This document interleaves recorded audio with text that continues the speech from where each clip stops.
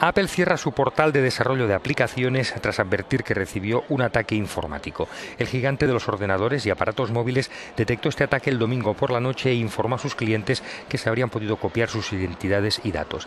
En total tiene 275.000 usuarios que utilizan las aplicaciones de desarrollo de programas Demon, FreeSurf y Mindspring.